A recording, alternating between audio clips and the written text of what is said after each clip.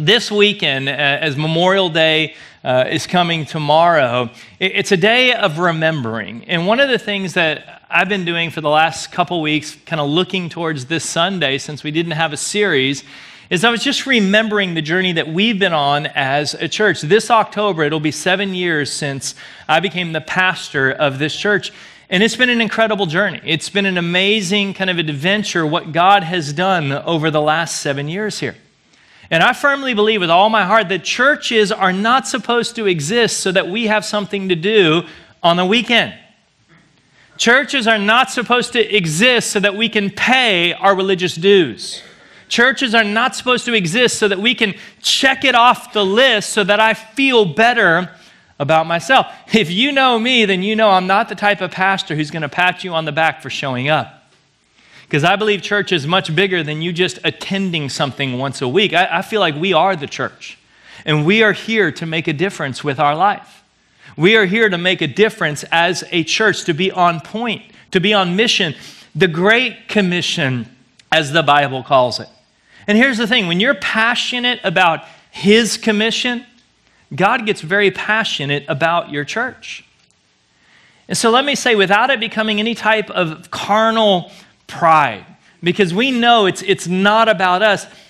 I do, as your pastor, want you to take pride in what God has done through our church because it is truly remarkable what God has done over the last seven years. And God, of course, gets all the glory. We know that. We don't ever want to touch God's glory. We know it's Him. But here's the thing God uses people, and God needs people to follow His instructions. And God wants us to make a difference. He wants you individually to make a difference, and He wants us as a church to make a difference. And this may surprise you, but God actually wants this church to grow more than even we want it to grow. Why? Because He loves people. And I've been trying to study and figure out why is God blessing our church? I know churches all over America that are not seeing the growth that we've seen.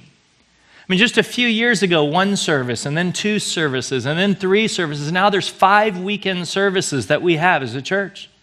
And I don't think God is done. I, I think God wants more because I think there's more people in this community that need a life giving relationship with Him. And so I've been trying to figure out what is it about our church. There's other churches that are praying to experience the momentum that we've been experiencing. So what I want to do today is I want to give you what I've discovered for three reasons. Number one, to simply let you know what we're doing as a church. Number two, to teach it to you so that we can continue to do it. I mean, there's some things we're doing right around here, and we want to we want to continue to do those things. And then finally, I want to give it to you in such a way that you can apply it to any area of your life.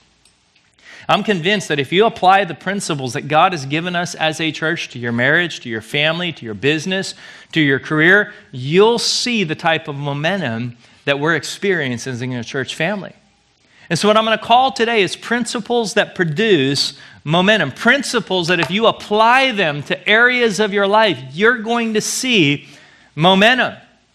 And here's what you need to know there are common principles in the Bible. Common principles that when you follow certain guidelines, when you follow certain principles, there's, there's blessings and there's results that are attached to it. Let, let me give you just one example so you can kind of get a picture of this truth.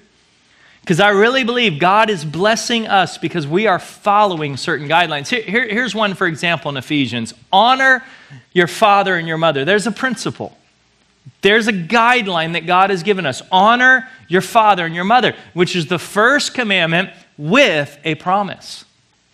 There's a result, there is a blessing, there is a promise attached to principles and guidelines that God gives us that it may go well with you and that you may enjoy long life on earth. I like some of that. I don't know about you, but I, I, I, like the idea of long life, and I like it better if it goes well. In fact, if it doesn't go well, I don't want it to be that long, to be very honest.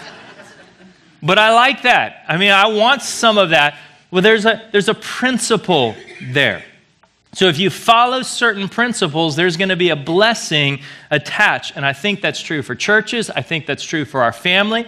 I think it's true for marriages. I think it's true for every aspect of life. And so, again, the reason we need to understand this is because I'm believing for the next 10 years of our church. I think the next 10 years of our church is going to be one of the greatest seasons we're ever going to experience as a family, as a community. And so I want to understand this a little deeper so that we can go a little deeper into what got us to this point. So we're going to look at the book of Numbers today. We're going to study out of the book of Numbers today. And it's funny to me because I hear a lot of, they're typically hyper spiritual or super spiritual people who, who like to say things, well, well, God's not into numbers. Well, he actually wrote a whole book called Numbers, so he kind of is into numbers. And the reason God is into numbers is because God is into people. People matter to God.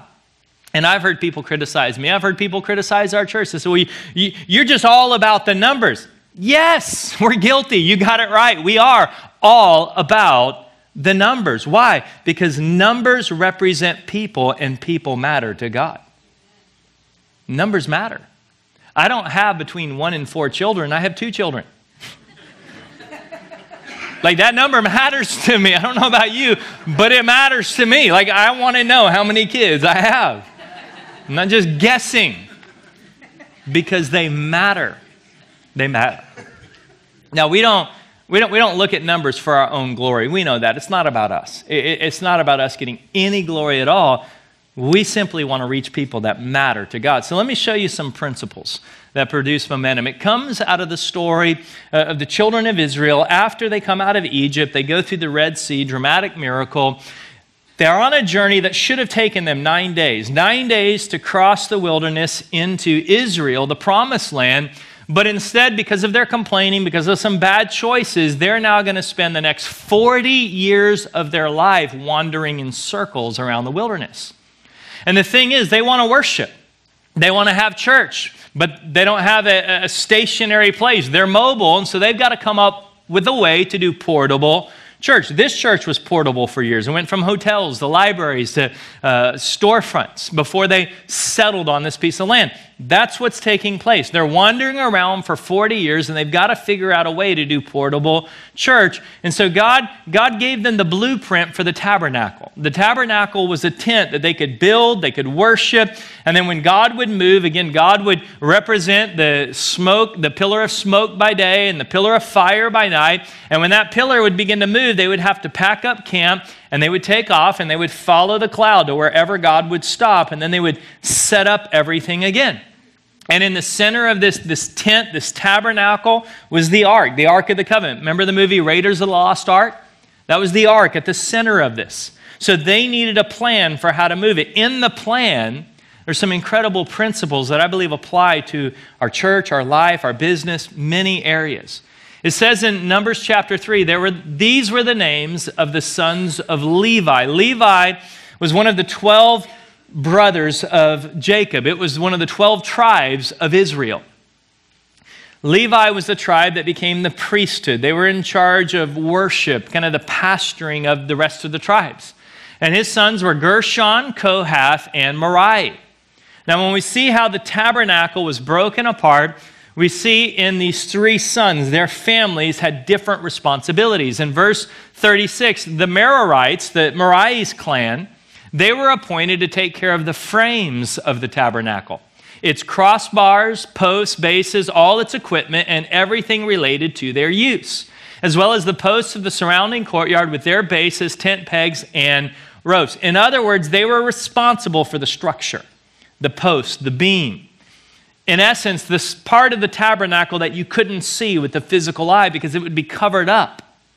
Then we have the next one, the Gershonites. In verse 25, they were responsible for the care of the tabernacle and the tent, its coverings, the curtain at the entrance to the tent of the meeting. This was the part that you could see with your eye, the, the skin of the tabernacle, the tent, the fabric. And then finally, in verse 30, we have the Kohathite clan, and they were responsible for the care of the ark, the ark of the covenant, the table of showbread, the lampstand, the altars, the articles of the sanctuary used in ministering, the curtain, and everything related to their use. In other words, they were responsible for the worship elements, the spiritual part of it. So you have Merari, who is responsible for the beams, the posts, the structure. You have Gershon, his family, responsible for the, the curtain, the tent, the fabric, the, the system of the whole thing. And then you have Kohath, who's responsible for the ark and all the articles of worship, the spiritual.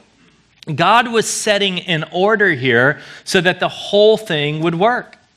And I believe the reason why we have seen momentum as a church is because we have set some things in order in our house.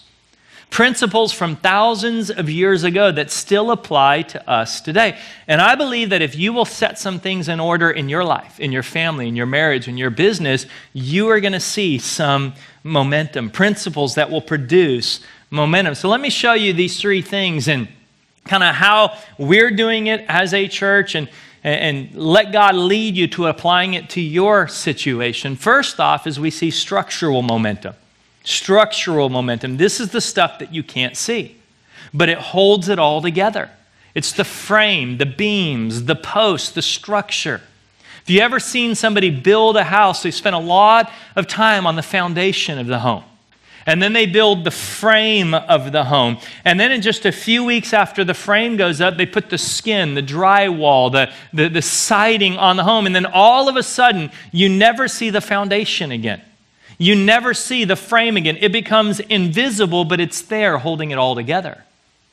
You see, we as a church have things that you don't see, that that, that are kind of invisible to the eye, but are written into who we are. In fact, some of them we've actually written into our bylaws and into our government to keep our foundation firm.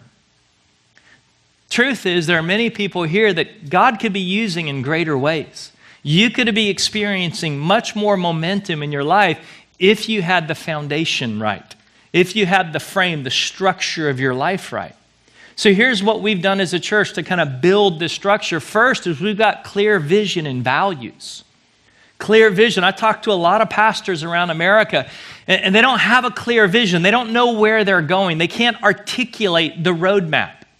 I asked the question if somebody gave you two years of their life, what is the roadmap for their spiritual journey? And they can't articulate, well, we just want them to, to grow closer to God but they really can't articulate the roadmap. I think one of the things that, that God has done well through our church is we have a clear roadmap. We know where we're trying to bring people. If, if you want to be a part of our church family, we know what the journey looks like. And it's, and it's the vision of our church, which is simply this we want to help people know God. If you don't know God, we want you to know God.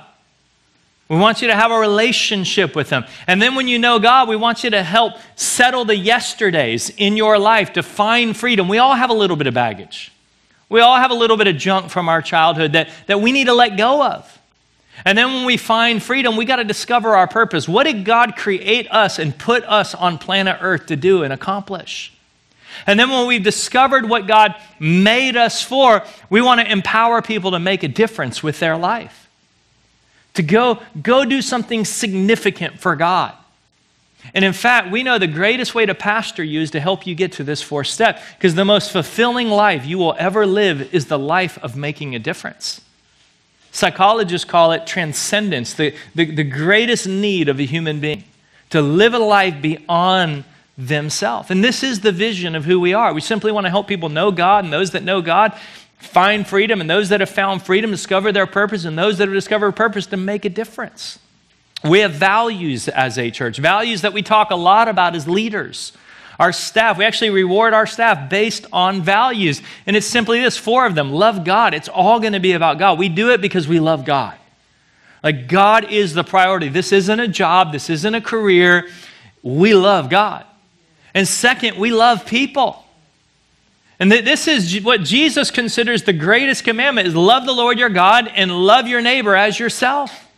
So we're going to love, it's all about people. Our third value is excellence. We're going to do things the best of our ability. Like we want things to be the very best that they can be. We're not going to settle for a it's good enough culture. We want to give God our absolute best in every area, in every way. And then lastly, we want to have a lot of fun on the journey. Like, like we want to have fun doing it. And let me just say it right now if you're not a part of the Dream Team currently, you need to get on the Dream Team before July because our Dream Team party's coming up and it is the most fun we have all year. I mean, it is an exclusive party for Dream Team, but I'm telling you, it, will be the party of all parties. We, every year, we have the time of our life at the Dream Team party because we want to have fun doing this. So we got clear vision, clear values. Do you have clear vision for your marriage? Clear values for your family, for your business? Second thing that we do is we have scriptural church government. See, the problem with a lot of churches is they either have too much accountability and no freedom, and it chokes the life out of the leaders, or they have all freedom and no accountability, and the leaders get the church in trouble. What you need to have is you need to have a balance of freedom and accountability where you've got great accountability, people watching over you that care for you, that love you, that, that ask you tough questions to keep things in line. How many of you enjoyed Pastor Rick Bezet last week? Wasn't he awesome? I mean, that, that was some of the most fun we've had in church. I mean, but at the end of the day, the message was so heartfelt. And if you missed it, watch it online because it was powerful. Well, one of the things you didn't know is one of the reasons he was here is we were talking to him about being one of our overseers as a church, to have, have him kind of watch out for us. And I'm glad to announce that he accepted and he is now one of our five overseers as a church family. Listen, we want people like that speaking into us. We want people like that watching out. I want guys like that who are calling me and asking me the tough questions like, Are you loving your wife? Because I just think that you would appreciate having a pastor that loved his wife. I just think that would be a good thing for you. And we need overseers, we need people that keep us accountable. And if you're not seeing momentum in your life, it could be that who's keeping you accountable? Who are you submitted to in life? Who's speaking into your life? And then finally, we have solid financial principles here. We spend money wisely, well. We do what we're going to say we're going to do. And we have three basic guidelines when it comes to our finances. First is integrity. Everything we're going to do, we're going to do it with integrity. We're going to do exactly what we say we're going to do.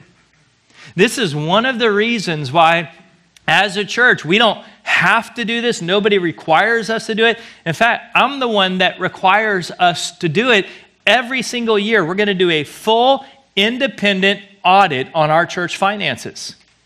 And not only are we going to do an independent audit of our church finances, but when it's finished, we're going to put it right on our website for anybody. You don't have to be a member, anybody to go to our website and look at. Why? Because we're going to operate with integrity, we're going to operate with transparency. We, we have nothing to hide. So you can go right now to our website and look at the 2016 audit and see how we handle finances.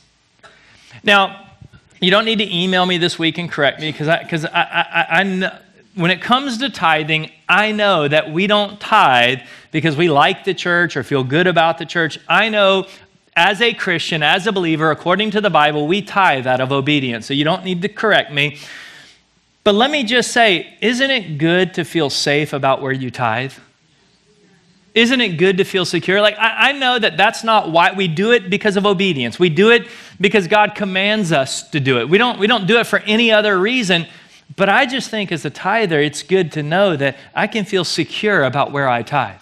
I know how it's being used. I know it's going to be used to maximize and make a difference. Integrity. Second area is stewardship. We're going to be good stewards of everything God has entrusted us with meaning we're going to spend less money than what comes in because we want to live with margin.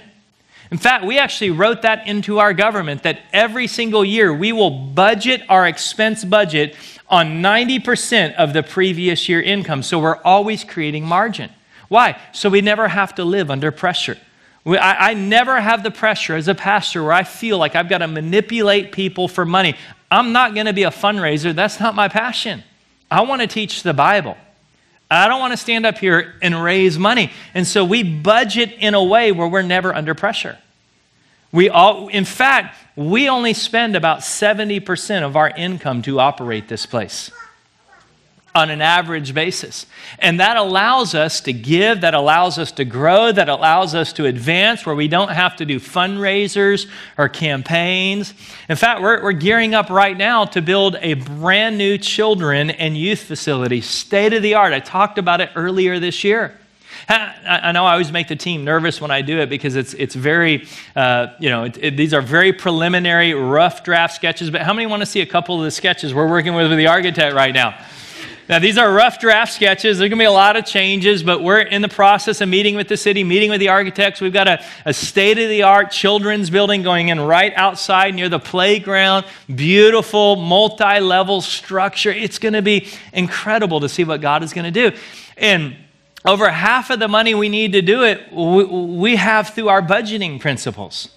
And since we began talking about it, we haven't even done a fundraiser. We're not even doing a campaign. But since we just shared the vision, we've already had people give up to $300,000 to advance this. I mean, just God. God's just putting it on people's heart to, to say, you know what, Let, let's just get this done as quick as we can get it done, and let's go for it, and let's do it. And that's one of our commitments to you. We're going to move at the speed of your generosity. We're not, we're not going to outpace your giving. We're not going to go obligate you to something that you didn't sign up to pay for and then come back and have to pressure you to pay for something you never signed up for. We're just going to move at the speed of your generosity, and that's what God is allowing us to do. And then finally, generosity. We're going to be generous people. We're, we, we give over 10% of our income away to high impact ministries around the world. Here's the thing you can be very tight with your budget and stingy, God's not going to bless you. Or you can be very generous and not tight, not a good steward, and God's not going to bless you either. See, the reason we are tight financially, the reason we are good stewards is so that we can make a difference, so that we can be generous, so that we can make an impact. That's the structure, what you don't see. Then we have systematic momentum as a church. That's what we actually do. That's the program. That's the system. That's, that's kind of the practical how we do what we do. And what we've done is we've directly connected our system to our vision. We thought if God's plan for all of mankind is that they know Him, that they deal with their yesterday, that they figure out why they're on planet Earth, and then they live their life making a difference, why don't we just build a system that accomplishes that? Well, why come up with something else? And that's why we don't do a whole lot as a church. We, we really just focus on a few main things. And so here's how we do it the know God component of our vision, we do that through our weekend services. That, that's what we do every weekend around here is we, we allow, we, we create an environment where people who are brand new to church and brand new to Christianity can come and they can feel comfortable and they can be anonymous and they can check us out. And when they're ready to make a decision for Jesus, they can make a decision for Jesus. But you got to know the vision of that. Because for those of you that have been around for a while, I know you're tired of me saying, hey, here's the red worship guide. You're like, why does he say the same thing every single week? Because I'm not talking to you. I'm talking to the person who's been here for the very first time. And the truth is, every weekend there's someone that's here for the very first time, and we want to make them feel at home. We want to make them feel welcome. And it's working. Since January 1st alone, we've had over 500 people in our weekend services raise their hand and make decisions for Jesus Christ. This is working. We've had over 75 of those people water baptized. Second, second part of the vision is we pastor people through small groups. That, that's how we help people deal with their yesterdays. The truth is, God will forgive you of your sins, but it's not God's job to keep you from doing it again. If you really want to become the person God created you to be, you're going to need community to do it. You're going to need people to help you to do it. We, we are changed through our relationships. Here, here's the thing I have a lot of people who, like, Pastor, can you counsel me? Pastor, can you counsel me? Can, can, we, can I set up for some counseling? I've done this for 20 years now. Can I be very honest with you? I get very little results through counseling. Very little. And it's not just because I'm a bad counselor. The truth is, one on one counseling does not make a whole lot of progress in your life. The truth is, like, I could sit down and meet with you one on one, and we could talk about whatever you want to talk about, and, and you're going you're going to grow about this much, to be very, very honest. But if I can get you to commit to a community of people, if I can get you to commit to a small group as a man to get around some healthy men in our church, and as a woman to get around some healthy women in our church, you're going to grow like that. You're going to grow. Why? Because you have accountability. You have people that are going to follow up with you. You have people that are going to encourage you to walk it out. I can sit and talk to you and I'll pray for you and, and we'll ask God to forgive you. But again, it's in community with people that you're really going to grow and that you're really going to change. Next up is we want to help you discover your purpose. We do that through the growth track. Four classes that we ask every single person who attends our church to take these four classes one time, one time. And the whole purpose of it is to figure out why God created you. They say 87% of Christians in America, when asked the question, What are you here for? What is your life purpose? They have no answer. They don't know why God created them. The truth is, for, for many people here today, you don't even know what your spiritual gifts are. God hardwired you. Every one of you has six or seven spiritual gifts in your life that God put into your DNA. Peter says, use those gifts to serve one another. How can you do that if you don't even know what your gifts are? So, what we've done is we, we've created four classes to help you figure that out. Four classes to assess your spiritual gifts, your design, how God wired you to figure out why God made you to be a catalyst to discovering your purpose. And then finally, when you do that, we want to get you to the most rewarding part of the vision, which is make a difference. And we do that through the dream team. We do that, we do that through making a difference every single week. And one of the things I love to tell our dream team is what else did you do this week that's going to be around 10 million years from now? I mean, think about it. How many things did you do this week that's really going to last and really going to matter 10 million years from today? The truth is, what we're doing right now will. Because the people who are going to respond to Jesus through this service and through this weekend, and the people who served on the dream team, that's going to matter 10 million years from now. That's going to make a difference 10 million years. So I think we just need to stop for a moment and let's honor our dream team that makes this happen every single week. Come on, let's, let's give our dream team a hand right now.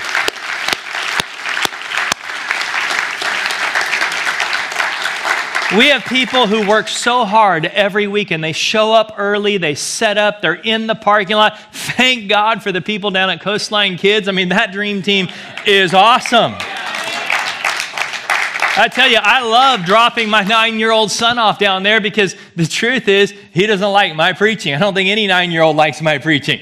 I mean, they, they just, you know, it, it, nine and younger, they don't get it. I'm glad that they have their own church experience where they can get the gospel in a way that they can understand it and they can hear and they can learn. And we got people who are trained in background checks and security where they've got a safe environment to have church. That's the power of the dream team. What are your family systems? See, the problem with North County right now is we have systems that are designed to lead you into divorce. So it's happening right now in our community. People have family systems that are so out of control, that are so out of balance, people running so many directions. We have a system that many of us worship called busyness, and it's killing families. You've got to decide what are you going to do and what are you not going to do? What is the system for your marriage? What is the system for your family? What is the system for your business and your career? We want structure. We want to make sure we know who we are, what our values are, what we believe. We want the right systems. We want to know where we're going and how we're going to get there and how to do it. And then finally, and most importantly, we need spiritual momentum. You can do everything else, but without God, we're just an empty tent. We're just a bunch of posts and a bunch of fabric, and nothing happened. We need the presence of God desperately need the presence of God in this place. And yes, it is true. There are churches who pray, pray, pray, pray, pray, and they don't have any structure and they don't have any systems and they're not going anywhere. We need all three. We need, we need to have a foundation. We need to know what we do, and we need God in the middle. Without God, we're in trouble. I'm not gifted enough to do this job. Like, I am not talented enough. We, we as leaders know that we have to depend on Him. And for some of you that aren't seeing momentum right now, it's because you got to get God right back in the middle. In the middle of your marriage, in the middle of your business, in the middle of your career, in the middle of your family, you got to bring God back. So, how do we do that? Well, let me give you three principles that we as a church are very, very passionate about. First, is we focus on the Word of God. Let me just say if you're a follower of Jesus Christ, I passionately believe that we need to read the Bible every day. Every day every day. I, I, I, pray to God that I'm not the only spiritual food you get every week. I, I pray that you are learning how to feed yourself, that you are getting into the Word of God every single day. If you only ate one meal a week, you're going to be malnourished. And unfortunately, we've got a lot of believers who are spiritually malnourished because they are not in the Word. And the thing is, this book, Hebrews says it clearly, it is alive and it is powerful. This is just not another book with pages filled with ink. This book is living, it's breathing, it breathes life into you, it's powerful, it will change you. If you don't have a Bible, we love to give them. We give away hundreds of Bibles for free every year. Go to our info center, pick up one today. We would love to give you a Bible. If you want to figure out how to read it, we've got reading plans. My personal favorite is the one year Bible. One year Bible takes about 15 minutes a day, and you will read through the entire Bible in a year. I'm telling you, we need to be people of the Word. We need to be in God's Word every day, every day, every day. Read this book. Second is we focus on worship. Worship is powerful. Worship is when we give God the glory due his name. Here's what's funny to me. Do you realize that the beginning of church, when we do the music, that's worship? That, that's, that's when we worship God. Do you realize that's the only part of the service where we give to God? The rest of the service, God gives to you, right? God uses me as your pastor to, to bring a message that feeds you, that encourages you, that helps you. That's God giving to you. The music part, the worship part, is the whole part of the service where we give to God. And isn't it interesting that that's the part of the service that many of us are late to?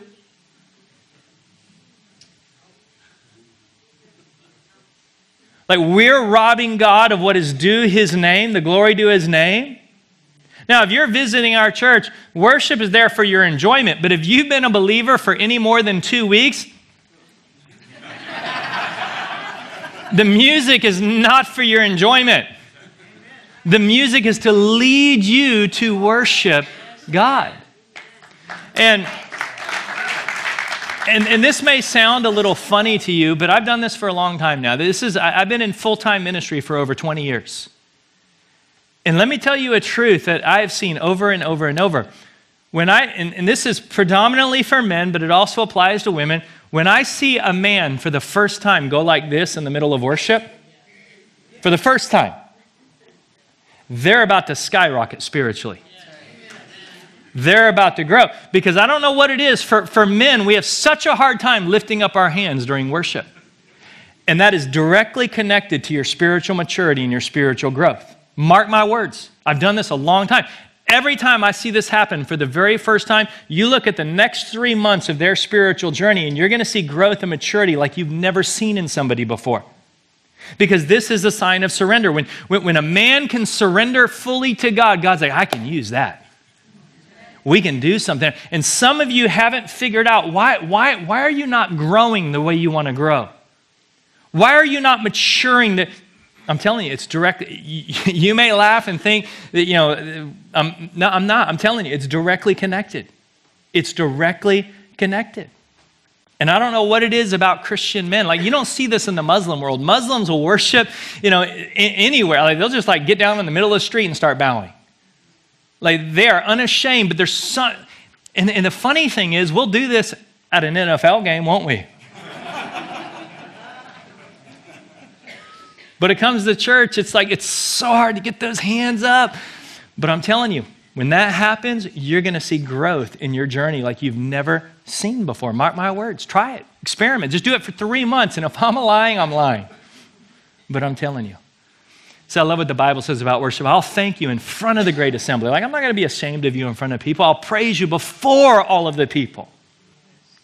I'll praise you, O Lord, with all of my heart. And then here's my favorite in Timothy. In every place of worship, this is a place of worship, I want men. Say that with me men. To pray with holy hands lifted high to God. I'm telling you, there's something powerful when men lift their hands to God. There's something powerful that takes place when this happens. And then finally, we're going to focus on prayer. Focus on prayer. We put a lot of energy in prayer. Prayer is actually what's building our church. We don't do marketing. We don't send out postcards to our community. We don't do any type of advertising, but we put a lot of energy into prayer. Every year, we begin January with 21 days of prayer and fasting, where we're seeking God Monday to Friday, 6:30 in the morning. August coming up in just a couple months, we're going to do another 21 days of prayer in August to, to end the summer before we move into the school season. We're going to seek God. We're going to pray. Every Saturday, every Saturday, we meet in this room at 9 a.m. and we pray for you. If you're struggling in your prayer life, you're trying to figure out, come this Saturday at 9 a.m. Join us this Saturday at 9 a.m. Come. We'll help you with your prayer life, we'll help you build it. Every time I stand up here and preach, there's people behind this wall praying for me and praying for you. I don't ever want to preach up here if I know people don't have my back. See, I, I, can preach with so much boldness and confidence because I know there's people right now praying for me. Right now behind this wall praying for me. Maybe you want to be a part of the prayer dream team. We're building this place through prayer. What's really interesting about this point, if you if you continue studying number seven, I don't have time to go through all the scripture, but I put it in your notes.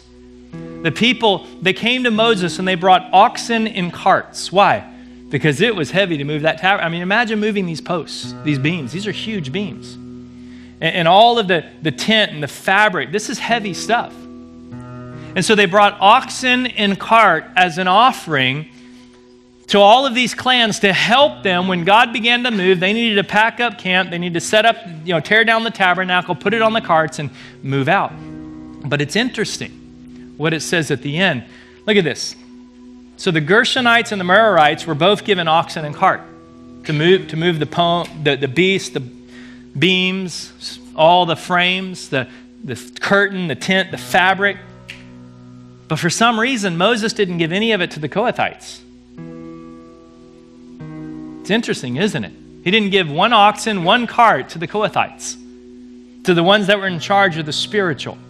They were in charge of the ark, the lamp, the table, and here's why because they were to carry on their shoulders the holy things for which they were responsible. See, that tells us we don't delegate the spiritual. That's why I come to prayer every Saturday. As the I don't delegate it to somebody else. I'm here. I'm praying. And what does that mean for you? Well, for a lot of men, that means you don't you don't allow your wife to outpray you in your home. I know a lot of men who, well, my wife, she likes to study the Bible. My wife, she likes to pray. I'm just not in it. No, no, no, no. We carry those things on our own shoulders. We don't delegate that to our wife. We don't delegate that to our husband. We carry the spiritual on our shoulders.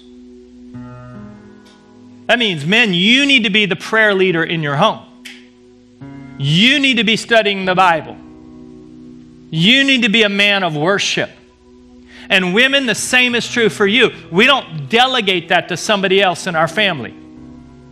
We don't delegate that to our pastor. I'll pray for you, but I'm going to pray that I'm not the only one praying for you, that you're praying for you too. Like I'll join and I'll agree with you in prayer, but don't expect me to do the heavy lifting for you. We carry the things of the spiritual on our shoulders. We don't delegate that out to somebody else. And this is why God's blessing our church. We have, we have structure here. We've got clear systems. We know what we do, we know what we don't do. And we put a lot of energy in getting God to be in the middle of this thing. To make it absolutely clear that we're not doing it without Him. Like God is the center of this thing. And we are dependent dependent on Him. And rarely do I see all three of these in place. Sometimes you see churches with great structure, but no presence of God. And sometimes you see churches with all presence of God and no structure, and nothing happened. We need all three. You need all three in your marriage. You need all three in your business. You need all three in your home. You need these principles to apply. Would you close your eyes for just a moment? before we leave today, let me ask you Is your relationship with God where it needs to be right now?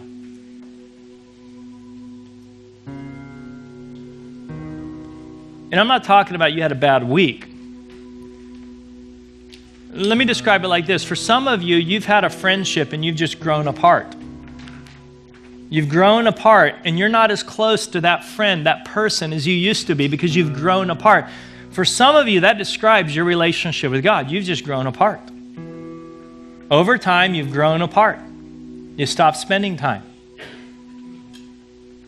For some of you today, you've never begun a relationship with God. This could be your very first time at church.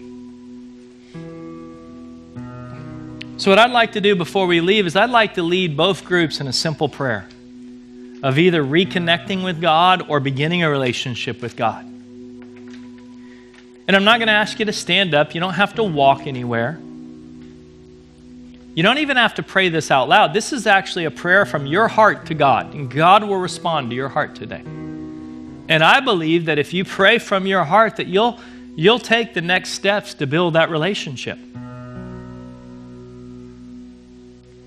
So if you're here today and you need to say a prayer because you've grown apart from God or you've never had a relationship with God, I'd like to lead you to a point of connecting with Him.